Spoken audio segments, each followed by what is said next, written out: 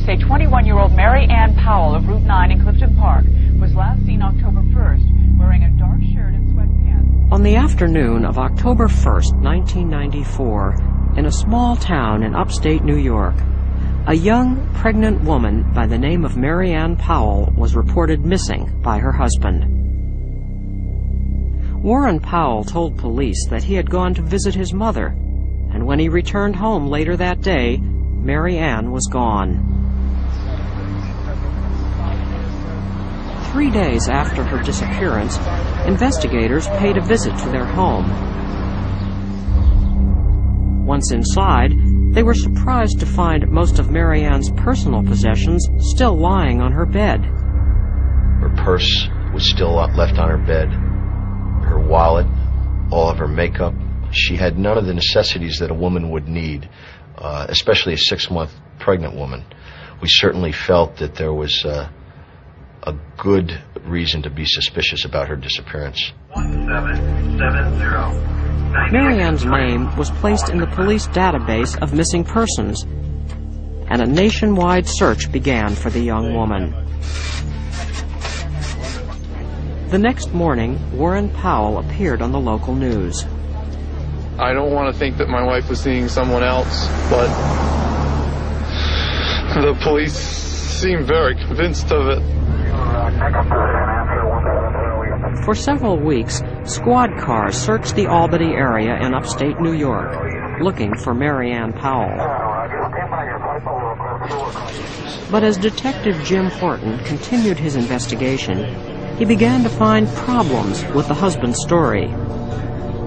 He found it strange that for three days, Warren Powell had told no one about his wife. Most disturbing was the fact that he never told police that on the morning of his wife's disappearance, he had made a phone call to a friend in order to purchase a boat. When we found the boat, I think that was the moment in which we all felt uh, like a light bulb went on and, and that Mr. Powell had done something with her, in fact, had left her in a body of water somewhere. The police brought the boat back to their forensic evidence unit, where they went through the usual routine of examining and photographing it. The only thing that the police came up with were some faint marks on the aluminum seats. Nevertheless, detectives still believed that the boat was used in the disposal of Mary Ann's body.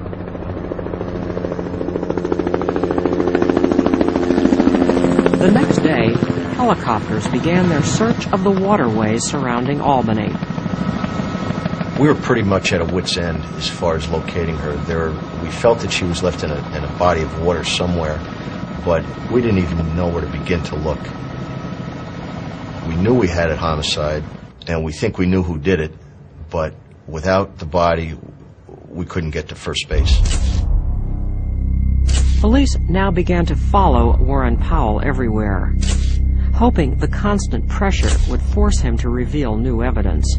We would follow him in different undercover vehicles, uh, and sometimes we would make our presence known. Uh, other times we would not. More or less to think that we were around every corner. When Powell and his father were interviewed on television, they showed the strain of weeks of relentless investigation by the New York State Police. I've been having a real hard time.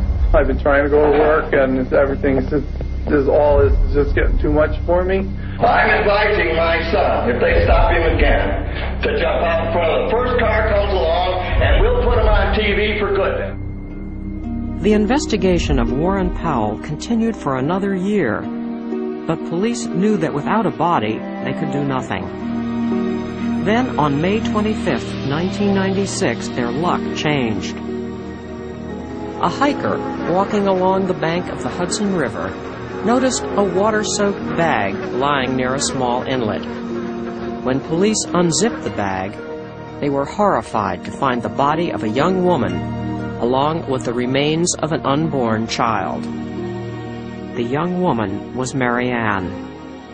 Two men came to the door, and I just wanted to hear, you know, they found her.